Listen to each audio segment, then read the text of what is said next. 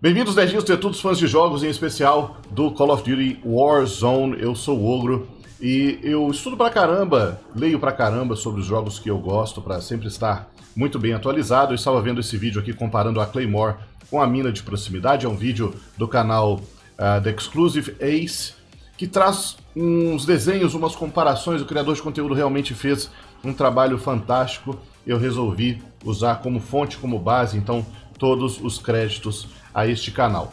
Para começo de conversa, eu sinto necessidade de usar uma Claymore ou uma mina de proximidade quando jogando principalmente no modo solo do Warzone, mas também com Squad quando vocês ah, determinam que vão pegar um posicionamento de high ground, um prédio, alguma coisa, para proteger as escadas, os acessos, as costas. É muito legal ter uma mina é, que pode causar o kill, mas que também seja um alarme quando tem alguém se aproximando. Ou porque o adversário explode aquela mina e causa barulho, ou porque causa um hitmarker na sua tela e te avisa que alguém levou dano para algum dispositivo seu, ou, né, efetivamente você causa ali um, uma baixa, você derruba ou você elimina a, algum dos seus oponentes.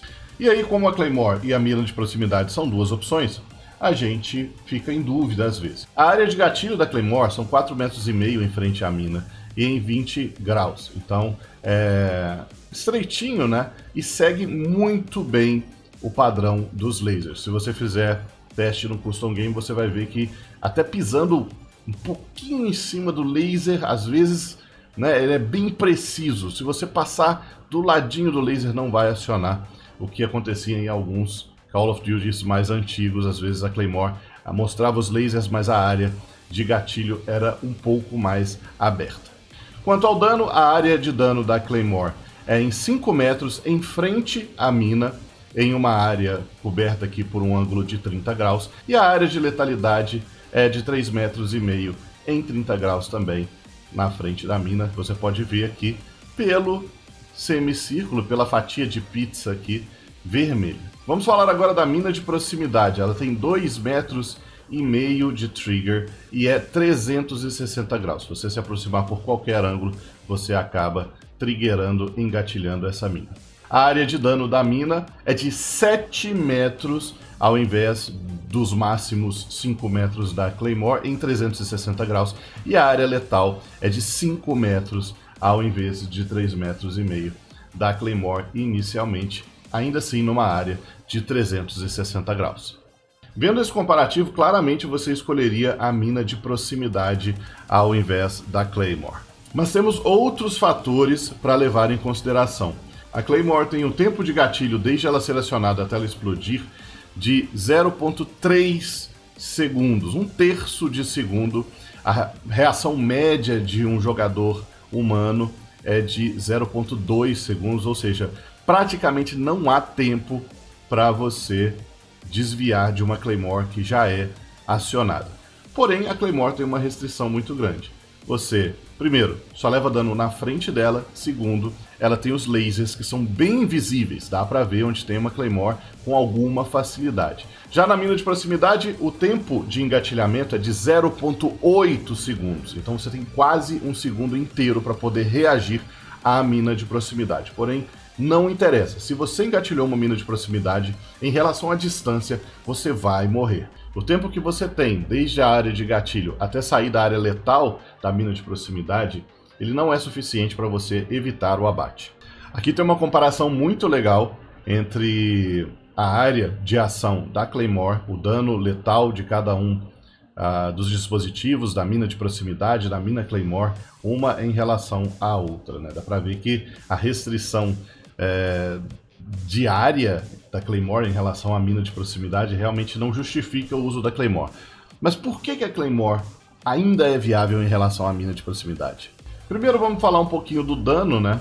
A parte exterior da Claymore dá 80 de dano, enquanto a parte interior da Claymore dá 140 de dano, que no multiplayer é suficiente para matar, mas no Warzone é um pouquinho baixo demais devido às placas de colete que te dão até 250 de vida. Já levando em consideração a mina de proximidade, a parte exterior dá 80 de dano, a parte interior dá 200 de dano, o que é muito mais interessante no Warzone se você considerar ainda um modo squad. A área maior de letalidade da mina de proximidade é mais legal quando se enfrenta mais gente. Né? Primeiro, você atinge uma área maior, segundo, o dano é muito mais grosseiro. Se você acerta uma mina de proximidade num esquadrão, é provável que você vai limpar aquele esquadrão. Pô, falando desse jeito, é lógico que é melhor utilizar a mina de proximidade do que a mina Claymore. Bom, o que eu não tinha falado antes é, a mina de proximidade tem uma grande fraqueza, que é o seguinte, se você ativa a Claymore, provavelmente você vai levar o dano e não tem muito o que possa ser feito. Você é, ou destrói a mina ou tenta correr para o ponto cego da Claymore, mas você vai levar dano se não for uma dessas duas situações. Já a mina de proximidade, que está muito, muito bem mostrado aqui no vídeo do Exclusive Ace, ele pode ser mitigado ou evitado se você deslizar, se você se abaixar ou se você deitar no chão durante a ativação da mina. Então a mina ela pula e explode. Se você se abaixar, você evita o dano. Se você estiver agachado, você evita o dano que vai para 55, você mitiga o dano para 55. Se você estiver deitado, você evita o dano completamente. Então, mina de proximidade, você ativou, imediatamente se abaixe para não levar o dano inteiro. Ou, se você puder e tiver tempo e ver, deite-se no chão. Se você deitar, você leva literalmente zero de dano dessa mina de proximidade. Bom, para os fins que a gente listou, a minha escolha ainda é a mina de proximidade. Porque, ok, tem uma letalidade, tem um range legal, tem uma área de gatilho interessante e, mesmo que ela não mate o seu oponente, ela vai te dar o aviso, vai te fazer o barulho, vai ter a explosão e aquilo já é suficiente para você setar um sistema de alarme protegendo as suas costas. Então temos aí duas opções muito interessantes para proteção pessoal e negação de área. A minha escolha pessoal seria sim a mina de proximidade ainda. E aqui no vídeo o The Exclusive Ace está falando também sobre o perk, a vantagem EOD, que põe um cap de dano em 80. Você não vai levar de nenhum explosivo mais do que 80 de dano por. Pode ser de míssel de RPG, pode ser de Claymore, pode ser de mina de proximidade, pode ser de granada. Você nunca vai tomar um hit kill. É, sem falar que no Warzone, quando, como você tem 250 de vida, 80 acaba sendo uma quantidade quase que negligenciável uh, se você for comparar que um equipamento desse seria mortal de outra forma. Bom, diga-me se você gostou desse vídeo, deixe o seu like, se inscreva no canal, coloque nos comentários aí o que, que você achou, qual das informações foi mais interessante e impactante. Um grande beijo do Ogro, até a próxima.